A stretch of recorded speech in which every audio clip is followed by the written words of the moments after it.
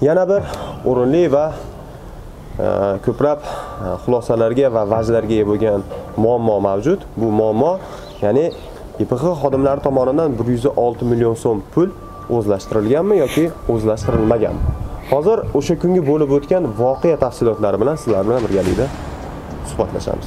Telefonda gaplashayotganim yo'ldan to'xtatdi avtopatrul xizmatlari e, xodimlari.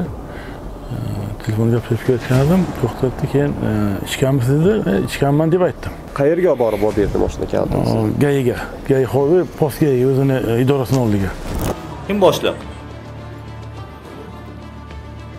Ismi familiyangiz nima? Ismi familiyangiz nima aka? 414 ni olib ketishga keldim. Mana ish payti xodimlar uxlab yotibdi, ish payti. Mana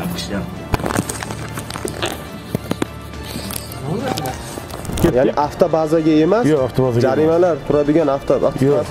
o'zini ishlayotgan idorasini yonida ko'chada. Yo'l patrul xodimi otani ism familiyasini yozganda ro'parasiga qo'l qo'yib yuborgan noqonuniy qilib. Chunki mashinani ko'zdan kechirayotgan payt shofer yo'q bo'lgan haydovchi yo'q bo'lgan. Anchalik borgandan keyin man aytdim "E, mashinada e, bir yuz olti million pul berish kerak bergan o'zim puli bor. Deb aytdimda endi noutbuk bo'lsa yozib bo'lgandir bot kamerasi telefon qildim. Nizom degan ismli ypx xodimi. Telefon qildim. Moshina ichidan narsani olayman keldimman narsam bor dedim kelishdan bosh tortdi. Yo man borolmayman nima kelolmaysiz? O'ziz ochib oling dedi. Hay siz moshinani ochgansiz. Man siz bilan guvohlik siz keling desam bosh tortdi. Yo borolmayman deb bahona qildida qochdi. Eshitdimda hozir kuzatuvdaman ha kuzatuvdaman agar kuzatuvdan hozir qaytib borib nima qilamiz kuzatuvdan tuksin endi pulni siz bilan yo'q deyapti ichiga pul bor edi aka aka bo- boraymi gaplashamiz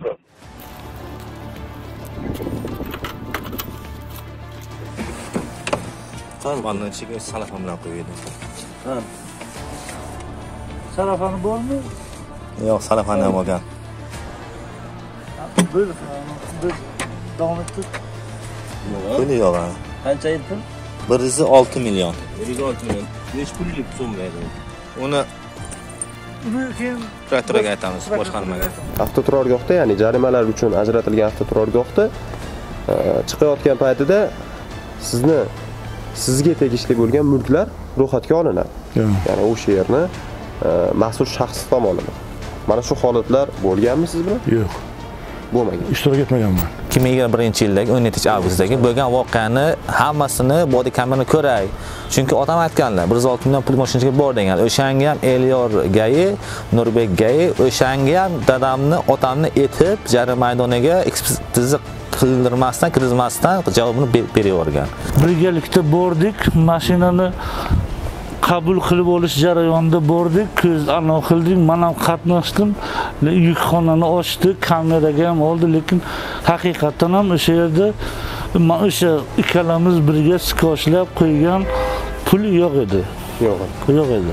transport vositasi pul va qimmatbaho buyumlar mana shu yerda yo'q deb qo'ying lekin vaholanki haydovchini imzosi ushbu yerda tasdiqlashi ya'ni dalolatnomani tasdiqlash uchun imzosi yo'q avvalambor assalomu alaykum hurmatli do'stlar hurmatli yurtdoshlar. Sizlar bilan jurnalist behzodbek rahmonov. Albatta qashqadaryo viloyati koson tumaniga tashrif buyurganmiz va aynan bizga murojaat qilgan fuqarolar tomonidan murojaatlarni o'rganishda davom etmoqdamiz. Yana bir o'rinli va e, ko'plab e, xulosalarga va vajlarga ega bo'lgan muammo mavjud. Bu muammo ya'ni YPX xodimlari tomonidan 106 million so'm pul o'zlashtirilganmi yoki o'zlashtirilmaganmi hozir o'sha kungi bo'lib o'tgan voqea tafsilotlari bilan sizlar bilan birgalikda suhbatlashamiz. Bizni yonimizda shamsiddin aka ya'ni ushbu bo'lib o'tgan kunda avtotransport vositasini boshqargan fuqaro hisoblanadi. Shamsiddin aka e, o'sha kuni o'zi qanday holat bo'lgan? Boshidan e, aytib bersam agar e, telefonda gaplashayotganim yo'ldan to'xtatdi avtopatrul xizmatlari xodimlari.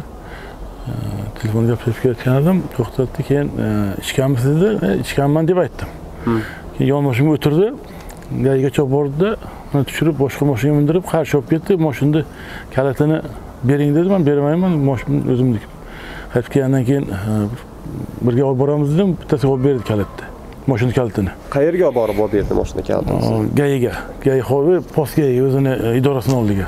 Idorasini oldiga bor idorasini oldiga borib yo'l ko'zson patrul. yo'l ha, o'sha yerga borib to'xtadikda mani tushirdi boshqa mashina mindirib ya'ni ketdik avtobazaga emas yo'q avtobazaga jarimalar turadigan avto yo'q o'zini ishlayotgan idorasini yonida ko'chada agrobankni to'g'risida. Keyin man ketdim mani olib ketdi. Borguncha e, kimdir mani otimdan iltimos qildimi boshqa qildimi quloq solmadida anchalik borgandan keyin man aytdim e, moshinada e, bir yuz olti million pul berish kerak bergan yo'lim puli bor deb aytdimda endi nima bo'lsa yozib bo'lgandir bot kamerasi. Bu yerga bordik bizni tekshirdi. Qayerga bordilaring narkologiyaga. Narkologiyaga tekshirdi. Ekspertizadan o'tishlik uchun spirtli iste'mol qilganmiz qilmaganmiz. bordik. Bir marta olib tekshirib ko'rdi. Mm, aniq bo'lmadimi? Birovga qaradida qaragandan keyin doktorlar ham bir opa bir erkak bo'ldi qaradi bir biroviga qaragandan keyin e, yana bir e, olib ko'ramiz dedi keyin mashq qiling dedi. Buni qilib ko'rsatdi yana tekshirdi yana tekshirgandan keyin yaxshi xulosa chiqmadimi? Keyin qo'lingizni burningizga bundoq qilib qiling dedi. Qilayotgan keyin to'xtatdi yana qildi keyin yozdi keyin palonchi palonchi davlenimni o'lchagini qaradim bir yuz qirq edi bir yuz oltmish deb yozgan bo'lsa kerak bunaqasiga. Shuni yozib berdi lekin ichganimni man tan oldim jarimasini to'ladim.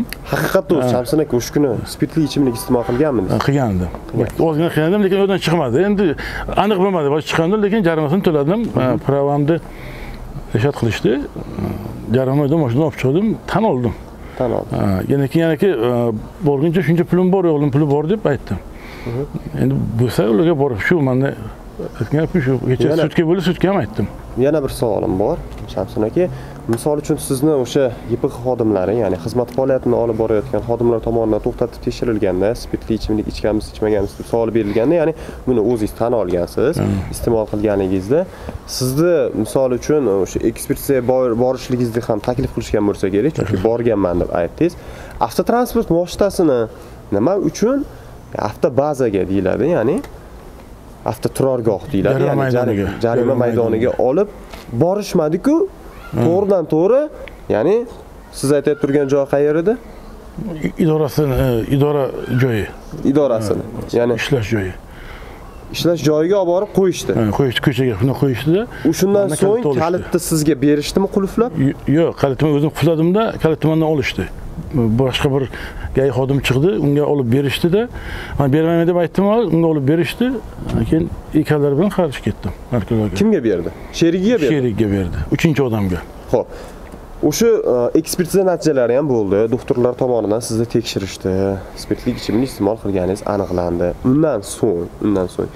Avtotransport vositangiz ya'ni jarima maydoniga olib borildi? Borilib qo'ygan. Siz bilan birgalikda yo'q mansiz beguvoh olib borib qo'ygan. Man yo'q mani ishtirokim yo'q. Ya'ni u yerda bilamizki avtoturargohda ya'ni jarimalar uchun ajratilgan avtoturargohda e, chiqayotgan paytida sizni sizga tegishli bo'lgan mulklar ro'yxatga olinadi. Ya'ni o'sha yerni e, mas'ul shaxs tomonidan. Mana shu holatlar bo'lganmi siz bilan? Yo'q. Bo'lmagan. Ishtirok etmaganman. Man qarishdan keldim o'g'limni chaqirdim shunday shunaqa narsani olaylik deganimga e, bular keldi gayiga telefon qildi gayi xodimiga. Hozir boraman dedi yarim soatdan keyin yana telefon qildi. Hozir boraman dedi soat o'nlarga yaqin bo'lsa bormayman dedi. Borib kutib o'tirdik kelmadi. O'sha kuni kelmadi? O'sha kuni kelmadi o'sha jarima maydoniga ya'ni kelmadi. sizni avtotransport vositangizda shu siz aytib turgan bir yuz olti million so'm bir olti million pul. Bir yuz olti million so'm pul miqdori bo'lgan. Man boshqa narsa ham bor edi endi kecha sham narsa bor edi narsalarimizni olamiz deb bordik hozir boraman dedi bir marta ikkinchi marta yana boraman dedi uchinchi marta keyin bormayman dedi. Bo'lgan aniq Shu, shu shu hurmatli do'stlar biz hozir shamsin akani o'g'li qudratov erkin akaga yuzlanamiz. Voqea tafsilotlarini davomini u insondan eshitamiz. Erkin aka mana hozir dadangizlar bilan gaplashdik bu masalada. Eshittirdim sizni borganligingizda va ypx xodimiga telefon qilganligingizni ta'kidlab o'tdi. O'sha jarayondan keyin nimalar bo'ldi? O'sha jarayondan keyin biza bordik haqiqatdan ham. Man dadam guvohlar bilan bordik. Telefon qildim. Nizom degan ismli ypx xodimi. Telefon qildim. Moshina ichidan narsani olayman keldim,man narsam bor dedim kelishdan bosh tortdi yo man borolmayman nima kelolmaysiz? O'ziz ochib oling dedi. Hay siz moshinani ochgansiz. Man siz bilan guvohlik siz keling desam bosh tortdi. Da borolmayman deb bahona qildi qochdi. Mana shu joyda agar bizga taqdim etgan audiozapisingiz bo'lishligi kerak edi. To'g'rimi? Ha, taqdim qilganman. gaplashgan hurmatli do'stlar hozir o'sha audiozapisga yuzlanamiz. Hozir bizda aynan o'sha audiozapis mavjud tashlagansiz. Ha, qo'yib berishimiz ham mumkinmi hurmatli do'stlar. Ana? Nizom aka kim buyurdi hozir nizom shu otani qo'lidan kalitni olib haydab ketgan xodimi. YPX xodimi Bo'ldi. jarima etgan siz jarima maydoniga chaqiryapsizmi hozir buni kechga borib chaqiryapman Aka, men kuzatuvdaman men. Ayo, men hozir guvoh bilan kelganman aka. Siz men ish mashinachidan olishim kerak narsalarimni. Siz hozir mashinani qabul qilib olganingizga bu shofirlarga hech narsa be- bermagansiz, hujjat be- bermagansiz. Yo'q-ku. Ha? Shofir o'zimni qanday beraman? A shofirni o'zini olib kelish kerak edi, ko'zini oldiga aka ekspertiza qilish kerak edi uni. Qani bormi yo'q deb. Eshitdim, hozir kuzatuvdaman. Ha? Kuzatuvdaman, agar kuzatuvdan hozir qaytib borib, nima qilamiz? Ay, Kuzatuvdan fuqarosi kutsinmi endi? Xalqqa siz yordam berish kerak, xalq sizni kutyaptimi endi? Juda bir qiziq bo'ldi-ku. Tushunyapsizmi? Davlatni narsasi kuzatuv deyapman aka, tushunyapsizmi? Ha, pul ichidan pulni olganda pul yo'q ichiga. Bormi yo'q, men shu pulni olib kelib ketmoqchiman. Moshinni ko'rdingizmi? Moshinani siz kelsangiz, siz bilan ko'raman, siz olib kelgansiz. Nima yo'q deyapsiz pulni? Pulni siz bilan yo'q deyapti, ichiga pul bor edi. Aka, Aka, bo- boraymi gaplashamiz. ha ya'ni guvoh bilan birga borgansiz Borganman. guvoh nima qaysi narsaga guvoh mana yoki boshqa? ham, hamma narsaga olishga olishga guvoh bilan borish kerak yo'qqa ha hamma narsani qabul qilishga borganman telefon qilganimga bosh tortgan. Bormayman deb. Ya'ni pulni ham va boshqa hamma narsani. Bo'ldi. pulga kim guvoh qila olasiz? Aka dadangiz yoki siz guvoh guvoh guvohim bor. Bormi? Ha birga qo'yganmiz bo'ldi tushunarli. Hurmatli do'stlar biz bilan birgalikda e, o'sha guvohimiz ham shu yerda. Hozir u insonlarni ham suhbatga tortamiz. Keling diqqatimizni audio zapisga qaratib davom ettirsak. Siz hozir mashinani qabul qilib olganingizga bu shofirlarga hech narsa be- bermagansiz, hujjat be- bermagansiz. Shofir yo'q-ku. Ha? Shofir o'zimni qanday beraman? A shofirni o'zini olib kelish kerak edi, ko'zini oldiga aka ekspertiza qilish kerak edi uni. Tushunarli haydovchini o'zi yo'q deyotgan bo'lsa mani dadangiz bilan suhbatlashgan paytimdagi fikrlardan kelib chiqayotgan bo'lsam haydovchi otangiz ya'ni e- e, ekspertizada bo'lishlari o'tayotgan bo'ling o'tayotgan paytdamidi qarshi ketgan paytlari bo'lgan qarshiga ketgan paytlari bo'lgan Xo'p, hujjat qilmagansiz degan vajni keltirgansiz. Qanaqa hujjat aynan? Qo'lingizdagi hujjat qilinmagan mana shu dalolatnoma tuzilgan payt soxta qilingan. Yaqqol ko'rinib turibdi. Mana yo'l patrul xodimi otani ism familiyasini yozganda ro'parasiga qo'l qo'yib yuborgan noqonuniy qilib. Chunki mashinani ko'zdan kechayotgan payt shofir yo'q bo'lgan haydovchi yo'q bo'lgan yo'q bo'ldi. Vaholanki bizning tartiblarimiz bo'yicha mani o'ylashim bo'yicha mutasaddi tashkilotlar e, tegishli tartibga o'rganib chiqib albatta avtotransport vositasini jarima maydoniga olib kirayotganda avtotransport vositasini egasi bo'lishligi ishtirok etishligi shartmi? Shart emasmi? Uni albatta kelaylik mutasaddilar aniqlab beradigan bitam. Ha, undan keyin biz- man yuqori turuvchi organga murojaat qilganimdan keyin ular haqiqiysini yo'q qilgan dalolatnomani yana soxta tuzib boshqatdan dadamni ismimizni yozgan. Tushunarli. Keling man erkinlikka shu joyni tushuntirib beray hurmatli do'stlar bu yerda dalolatnoma tuziladi. E, ushbu dalolatnoma yo'l harakati qoidalarini buzilishiga doir ma'muriy ishlarni ko'rib chiqish tartibi to'g'risidagi yo'riqnomaning 8 ilosi tartibida tuziladi. Ya'ni koson trans servis mchj tomonidan transport vositasi lasetti oyna tozalagichlar yon oynasi antena va bundan tashqari salon qismidagi holatlar ham bunga kiritiladi. Ya'ni umuman moddiy va ma'naviy boyliklari bu yerda bo'ladi. Xulosa qilib aytadigan bo'lsak agar bo'ladi. Bagaji ham e, ehtiyot baloni bor degan damkrat bor degan temir kalitlar. Bu yerda bilmayman so'zlarga tushuna olmayapman. Transport vositasi puli va qimmatbaho buyumlar. Mana shu yerda yo'q deb qo'ying lekin vaholanki haydovchini imzosi ushbu yerda tasdiqlashi ya'ni dalolatnomani tasdiqlash uchun imzosi yo'q. Nizom YPX xodimi o'zi qo'l qo'yib yuborgan. Tushunadi bu bo'yicha ekspertiza tayinladimi imzoni? Tayinlandi. Prokuratura mm, birinchi tergovchisi jasur shukurov biza tayinladik deb bizga ko'rsatmadi. Va aytib o'tganingizdek bu dalolatnoma yo'q qilinib bu dalolatnoma bu tuzgan boshqatdan tuzib yana otamni ismini yozganda ro'parasiga qo'l qo'ymagan yana xuddi shunday tarzdagi dalolatnoma tuzilgan ammo haydovchining imzosi yo'q. Man voqealar nima bo'lib davom etyapti voqealar o'sha jasur shukurov prokurorning birinchi o'rinbosari ekspert- anaqa qilgan. Qilgan ekan keyin man uni bir o'qib ko'rdim. Sudga o'qib ko'rdim. Ha dalolatnoma tuzayotgan payt kapirovka shig'iri bilan tuz tuz tuzgan ekan kapirovka shig'iri bilan. Birinchidan dalolatnoma kapirovka shig'ir qo'yilmaydi rang bostirgich bilan qo'yilmaydi haqiqiysini tuzganda haqiqiysi yo'q qilingan. Chunki man haqiqiysini rasmi bor. Sizga tashlaganman orqasiga ruchka bilan yozganman o'sha narsani.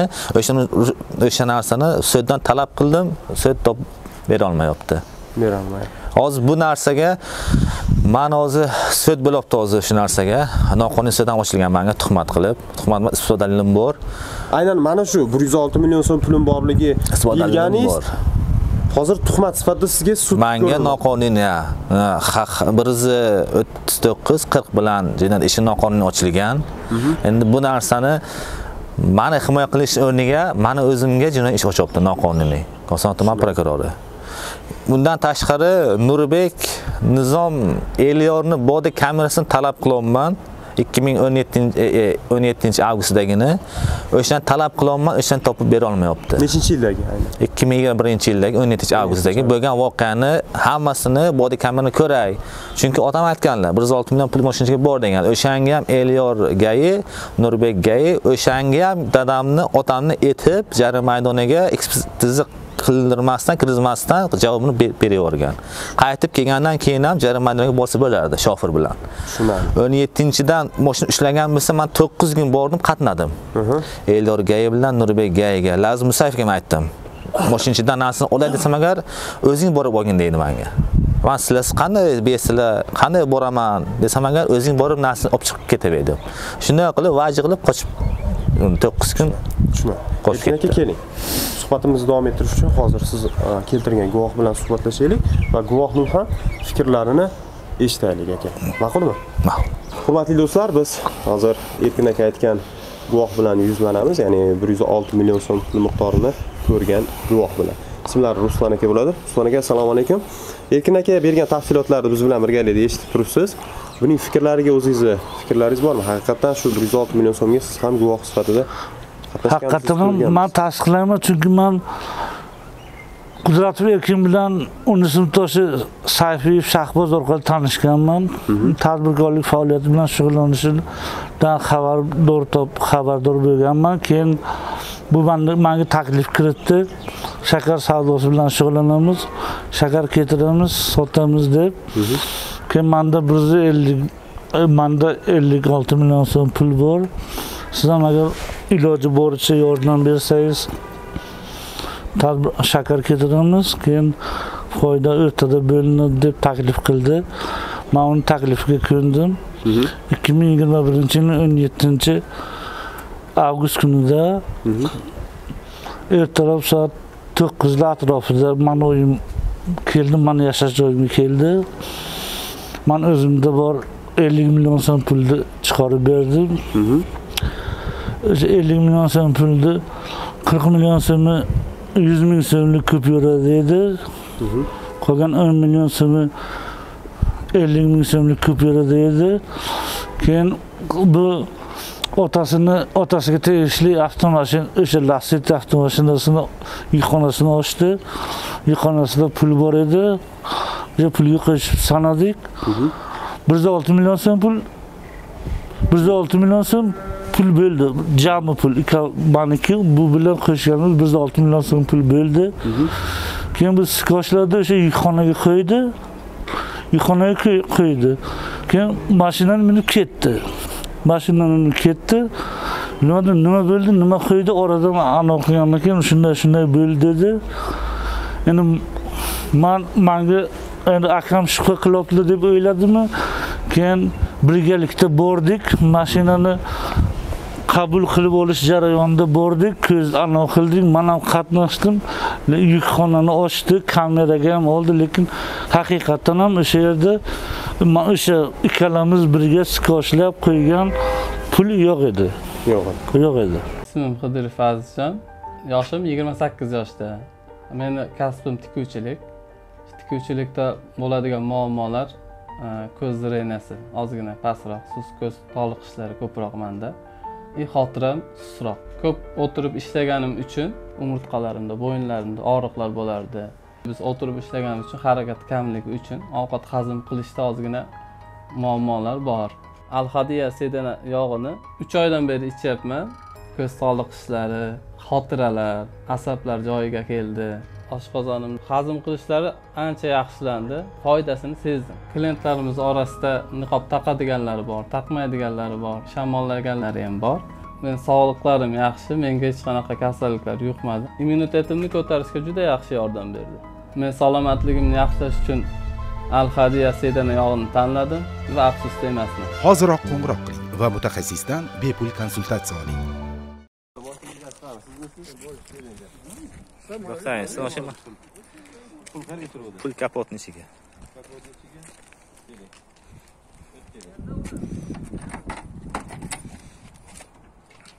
to'xta to'xta ochmaysiz ochmaysiz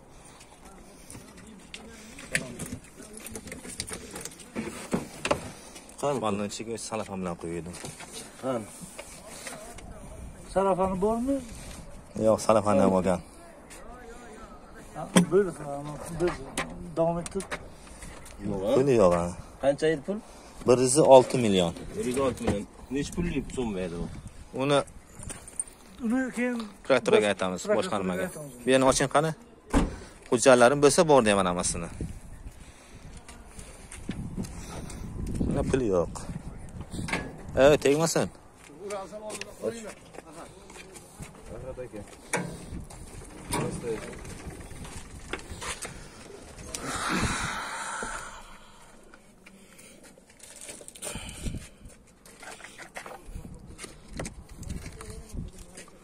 pasport shu yoqqa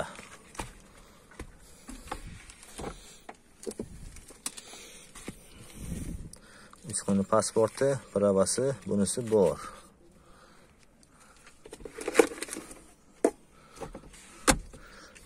Ikkita pasportim bor edi, bor. Pechat qayerga edi? pechat qayerga edi Pechat qayerga edi? Qayerga edi Sarchokka. Tekshirib ko'rish kerak. Bu nima qo'ygan ichga nima solgan? Mana bu plastigingiz bor. Ikkita plastik bor edi. Shtamp bor, muhr bor. Bu dokumentga kimdir tegingan-ku, dada? Dokument kimdir tegingan, pala pala partishku. Kamera, mana dokument pala partish. shularga o'zim solib qo'ydim. Dokument, hujjatlar.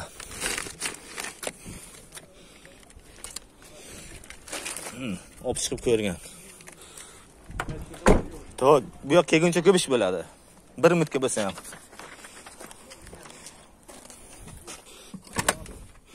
kamera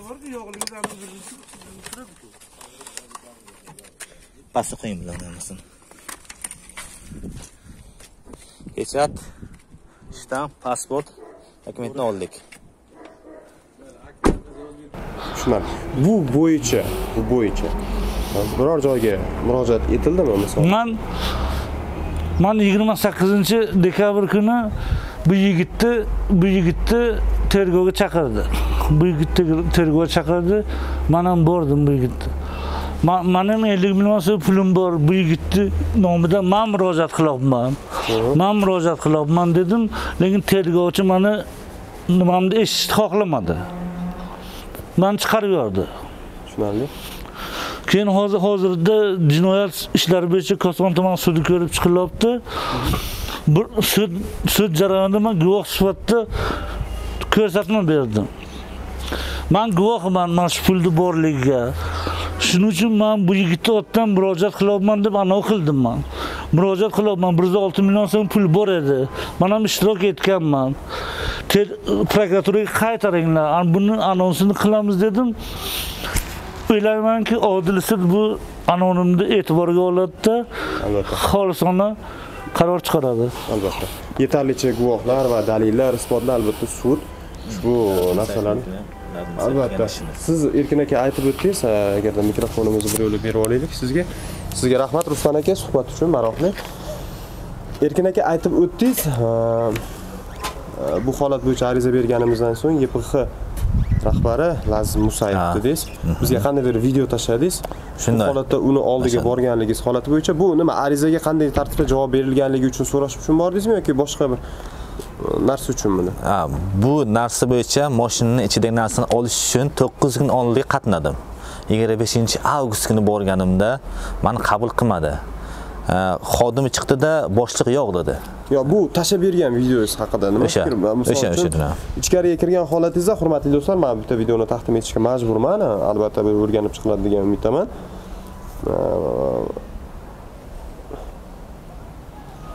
Kim boshliq? Ismi familiyangiz nima?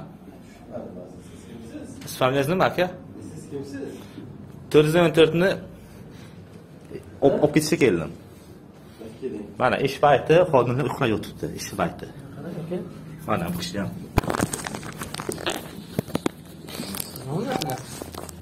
ya'ni 414 mashina mashina Ha, ko'rib turganingizdek ushbu xizmat faoliyatini olib borayotgan xodim fuqarolarni mana shunday tarzda qabul qilmoqchi. Bu qanchalik qonunga to'g'ri yoki to'g'ri emas buni tegishli tashkilotlar albatta o'rganib chiqib javobini aytadi degan umiddamiz.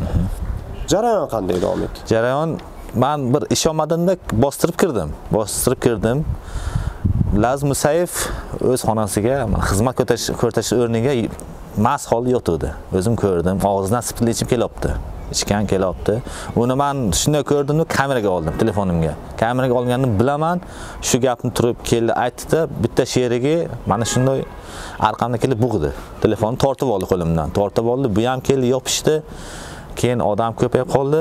Odam chiqardi keyin bu o'rniga o'tirdida. O'sha kunni o'zi biza hozirgi guvoh bilan buni qilgan xatti harakatlari haqida tilxat yozib berdim.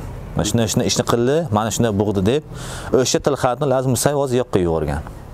Lekin sizda uni bironta isbotlovchi dalili bor? Bor video bor. Ushbu orqali shuni ma'lum qilamanki ikki ming yigirma birinchi yilning yigirma beshinchi avgust kunida otamning qonuniy vakili sifatida unga nisbatan chiqarilgan sud hujjati asosida jarima maydonida saqlanayotgan otamning avtomashinasidagi narsalarni berishni so'rab koson tuman iib huzuridagi yhxb binosiga kirdi. Voqea joyida mayor unvonidagi xodimning ko'ylagi tugmalari ochiq holda yotganini ko'rdim. Nechtasi ochilganligini aytib ketdim. shuning uchun bu buni surishtiruv jarayonida aytadi. Shuning uchun bu holatni qo'l telefonimga tasviriga tushira boshladim. Shu vaqtda ko'krak ko'krak nishonining raqami qd nol ikki ellik bir bo'lgan ypx xodimi kuch ishlatib qo'l telefonimni tortib oldi. Mendan keyin bu ypx xodimi qonuniy vakilim bo'lgan nogiron fuqaro ruslan bomurodovga ham kuch ishlatib uning qo'l telefonini ham tortib oldi tushuntirish xatini mening nomimdan qonuniy vakilim ruslan bomurodov yozdi va baland ovozda o'qib eshittirdi qo'shimcha va e'tirozlarim yo'q og'zidan spirtli spirtli ichimlikni hidi kelyotgandi. Tuhmat bo'lsang javob beraman. ha Tuhmat bo'lsang javob beramiz. Javob beraman. Hozir baribir ekspressda bir kishi bo'lib bormaydilar. ha? Bormaydilar. bil bo'lish kerak bo'ling bo'ldi o'sha narsani yuqori turuvchi organdan talab qildim. Qashqadaryo viloyat prokuraturasidan talab qildim kosondan talab qildim. U narsa yo'q. Yo'q. U narsani yo'qotib yuborgan. Tushunarli. Erkin aka manimcha suhbatlarimiz juda maroqli bo'ldi va gapirilgan so'zlarimiz ham manimcha qolmadi degan umidaman yo'q. Mumkin bo'lsa agarda man hurmatli do'stlar biz bilan birgalikda qudrat berkin aka bo'ldi. Biz qashqadaryo viloyati koson tumanida e, bugun bu masalani ham e, kecha esa albatta o'zida yer uchastkalarida bog'liq bo'lgan muammolarni ham birgalikda gaplashdik. Albatta shaxsan bu insonni o'zlarida bu tarzdagi muammolarning ko'pligi balkim bizga va boshqalarga noma'lum bo'lgan maxfiy yoki mavhum kuchlar tomonidan amalga oshirilayotgandi.